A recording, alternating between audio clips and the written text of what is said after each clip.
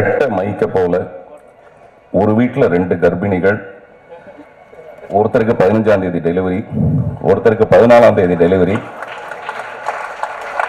ஒருத்தருக்கு வளகாப்பு நடக்கும்போது இன்னொருத்தருக்கு வாழ்த்துறது மிகப்பெரிய ஒரு பெருந்தன்மையான ஒரு பெருமையான ஒரு விஷயம். அதை சம்மதிச்ச லிங்குசாமி அவர்களுக்கு என்னுடைய மனப்பூர்வமான நன்றி. மேடையில் என் படத்தையும் வாழ்த்தியவர்களுக்கு நன்றி.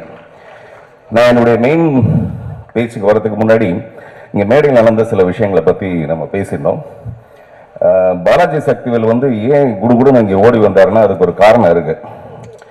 இந்த ரெண்டு மைக்கில் ஒரு மைக் வந்து அஞ்சனா இது ஒரு அரையனா அந்த லெவலுக்கு இருக்காரு. மிச்சி விஜய் நீங்கள் பேசிட்டு இருக்கிறது இந்த அஞ்சனாவும் அது அரையனா மாதிரி. நீங்கள் வந்து அழகாக பேசுறீங்க. ஆனால் அஞ்சனா வந்து அழகே பேசுகிற மாதிரி இருக்குது அதனால என்னாச்சுன்னா அவர் காதல் அழகா சொன்னதுக்கு அப்புறமேல அவர் பாட்டில் குடுகுடுன்னு அவரை தான் நினைச்சிட்டு இங்க ஓடி வந்துட்டாரு.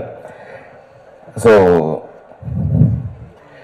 அதே மாதிரி பாரதி ராஜா சார் சொன்னாரு லிங்குசாமியை வந்து அவர் ஒரு பெண்ணா இருந்தா நான் வச்சுக்குவேன் அப்படின்ட்டு.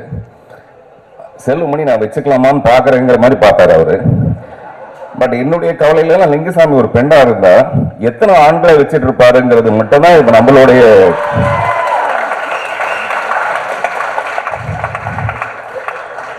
ராகவேந்திர ஒன்றும் இல்லைன்ற அளவுக்கு ஆயிருக்கும். அதே மாதிரி இன்னொரு செய்தி இங்க வந்தது வந்து இசைஞானி இளையராஜா அவர்கள் வந்து எம்பி ஆயிட்டாரு அப்படிங்கிறது. என்னை பொறுத்த வரைக்கும் அது ஒரு பெருமையான விஷயம் இல்லை. ஆனா அவர் ஏற்கனவே ஒரு பெரிய MP music of paradise music of paradise Ilaiyaraaja அவர் இப்போ எம்பி இருக்கிறது ஒரு சாதாரணமான விஷயம்தான். இன்னைக்கு மாலையில வந்திருக்க ஒரு பத்திரிகை செய்தி உலக கோடீஸ்வரர்கள் வரிசையில் முதல் இடத்தில் திரு லிங்குசாமி. உலக கோடீஸ்வரர்கள் வரிசையில் முதல் இடத்தில் லிங்கசாமி. பாருங்க பத்திரிகையிலே போட்டிருக்காங்க. இப்படி ஒரு மேடை பெரிய பெரிய உலகத்தில் இருக்க கோடீஸ்வரன் நினைச்சான்னா கூட இப்படி ஒரு கூட்டத்தை மேடையில் சேர்க்கவே முடியாது. சங்கருக்கும் மணிரத்னக்கும் பாரதிராஜா சாருக்கும் எத்தனை கோடி ரூபாய் கொட்டி கொடுத்தா கூட வாயானா வரமாட்டாங்க. அப்படிப்பட்ட ஒரு பெரிய மேடையை நீங்க வந்து உருவாக்கி வச்சிருக்கீங்க. அதனால உலகத்திலே மிகப்பெரிய கோடீஸ்வரன் நீங்க தான் நானும் அவரும் எப்படிப்பட்ட நண்பர்கள்? முதல்ல வந்து ஒரு சிறந்த நண்பர்னு எல்லாருமே அக்செப்ட் பண்ணிட்டாங்க. பட் நான் எங்க ரெண்டு பேருக்குள்ள ஒரு நெருக்கமான எங்க ரெண்டு பேருடைய பிறந்த தேதியுமே இதே மாதிரி தான் அது நவம்பர் பதினாலு நான் நவம்பர் பதினஞ்சு. நான் ஏற்கனவே சொன்ன ஒரு செய்தி அதை மறுபடியும் இங்கே சொல்லலாம். ஏன்னா ஒரு புது ஜென்ரேஷன் அதை ரசிக்கும்ன்றதுக்காக. பதினாலாம் தேதி ஒரு பெண்மணி என்னை பார்க்க வந்தாங்க. ஒரு அழகான பெண்மணி என்னை பார்க்க வந்தாங்க. அவங்க சொன்னாங்க இன்னைக்கு எனக்கு பிறந்த நாள் அப்படின்னாங்க. எனக்கு உடனே ஞாபகம் வந்தது வந்து இன்னைக்கு லிங்குசாமிக்கு பிறந்த நாள் இல்லையா? அதனால நீங்க போய் லிங்குசாமி போய் விஷ் பண்ணிட்டு வாங்க அப்படின்னு. ஏன் சார்? அப்படின்னாங்க. சும்மா போய் விஷ் பண்ணிட்டு வாங்க. கையில் ஒரு பொக்கே கூட இல்லையே அப்படின்னாப்ல இல்லை நீங்கள் போங்க. அப்புறம் அவர் என்ன சொல்கிறாரு பாருங்க அப்படின்னு. அதே மாதிரி அந்த பொண்ணு போய் அவரை விஷ் பண்ண உடனே லிங்குசாமி எனக்கு ஃபோன் பண்ணி சொன்னாப்ல நீங்கள் அமிச்ச பொக்கே ரொம்ப நல்லா இருந்ததுன்ட்டு. இது வந்து சத்தியம். நான் சொல்றது ஏதோ மேடைக்காக ஜோக்குக்காக அதெல்லாம் ஒண்ணுமே கிடையாது. சத்தியமான விஷயம். நீங்க அமிச்ச பொக்கே ரொம்ப நல்லா இருந்தது அப்படின்ட்டு. அதே மாதிரி டிஎஸ்பி அவரை பார்த்தா எனக்கு ரொம்ப பயங்கர பொறாமையா இருக்கும். நம்ம வந்து ஒரு பெண்ணை மலரா பார்ப்போம். அது வேற விஷயம். அவர் வந்து எப்பவுமே பொக்கையாக தான் பார்க்கறாரு. கூட்டமாக தான் பெண்களை பார்க்குறாரே தவிர தனியாக ஒரு பெண்களை பார்த்ததே கிடையாது. இந்த லட்சணத்தில் மேடையில் வந்து வேற ஒரு பொக்கை காணான்னு தேடிட்டு இருந்தார். எப்படி கொடுப்பாங்க பொக்கே? ஏற்கனவே கூட்ட கூட்டமாக பெண்களுக்கு நடுவில் ஒரு ஒரு வண்டு மாதிரி இருக்கிறதுனாலதான் இந்த மாதிரி போதையான பாடல்கள்லாம் கொடுக்க முடியுது. இவ்வளோ சாமிங்கான ஒரு மியூசிக் டைரக்டரை நான் வந்து பார்த்ததே கிடையாது. அது நல்லா இருக்குன்னு லிங்கசாமி தனியாக சொல்லியிருக்காரு நினைக்கிறேன். சரி ஓகே அதே மாதிரி ராம் என்ன சொல்றது உங்களை?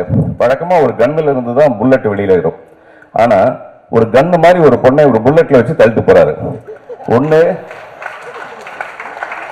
பொதுவா கன்ல இருந்து தான் புல்லட் வரும். ஆனா இவர் ஒரு புல்லட்ல கன்னு மாதிரி ஒரு பொண்ணை வச்சு தள்ளிட்டு போறாரு. ஒண்ணு இவர் அந்த புல்லட்டை தள்ளிட்டு வந்து அந்த பொண்ணை ஓட்டிட்டு போறாரு. அல்லது இந்த புல்லட்டை ஓட்டிட்டு போயிட்டு அந்த பொண்ணை தள்ளிட்டு போறாரு. ரெண்டுல ஏதோ ஒரு விஷயம் நடந்திருக்கு. ரொம்ப கொடுமையா இருக்கு சார் ரொம்ப பொறாமையா இருக்கு ரொம்ப சங்கடமா இருக்கு வேதனையா இருக்கு மனசுக்கு இந்த மாதிரிலாம் பண்ணாதீங்க நீங்க ஏற்கனவே ஒரு ஹீரோ மெட்டீரியல் அதனால உங்களுக்கு இந்த மாதிரிலாம் வாய்ப்பு கிடைக்கும் எங்களை மாதிரி ஆளுக்கு ஹீரோவான எப்படி வாய்ப்பு கிடைக்கிறது யோசிச்சு பாருங்க கீர்த்தி ரெட்டி நல்லா இருங்க அவ்வளவுதான் நம்மளால சொல்ல முடியும்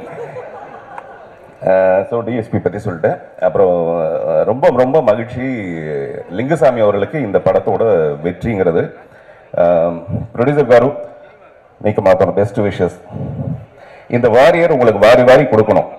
அதனால தான் அது வாரியர்னு பேர் வச்சிருப்பாங்கன்னு நினைக்கிறேன். ஒவ்வொரு வாரமும் திங்கட்கிழமை வரும். ஆனா வருஷத்துக்கு ஒரு தடவை தான் தீபாவளி வரும். தாமதம் ஆயிடுச்சுங்கிறதுக்காக வருத்தப்பட வேண்டாம். இது நிச்சயமா லிங்கசாமிக்கு மறுபடியும் ஒரு தீபாவளி. இந்த தீபாவளி சரவழியா தொடர்ந்து அவர் தொடர்ந்து மிகப்பெரிய வெற்றி படங்கள் அவர் கொடுத்துட்டே தான் இருக்க போறாரு. இடையில் ஏற்பட்ட கேப்புங்கிறது எஸ் ஜே சூர்யா சார் சொன்ன மாதிரி சொன்ன மாதிரி அவரை தயார்படுத்திக்கிறதுக்காக அந்த மாதிரி இருக்கலாம் நான் நினைக்கிறேன். மனப்பூர்வமாக அவருடைய வெற்றிக்காக நான் வேண்டிக்கிறேன். அதே மாதிரி என்னுடைய படம் வந்து பதினஞ்சாம் தேதி வெளியாகுது. ஒரு பெரிய பிரசவ வேதனை இது. ஒரு நல்ல படத்தை எடுத்து உலகமே பாராட்டினா கூட மக்கள் நீங்கள் என்ன சொல்ல போறீங்கன்றது தான் என்னுடைய எதிர்பார்ப்பாகவும் இருக்குது அதனால் ஃபர்ஸ்ட் டே ஃபர்ஸ்ட் ஷோ இந்த மாதிரி நல்ல படங்கள் வரும்போது வரவேற்கணுங்கிறது என்னுடைய அன்பான வேண்டுகோள். நன்றி வணக்கம்.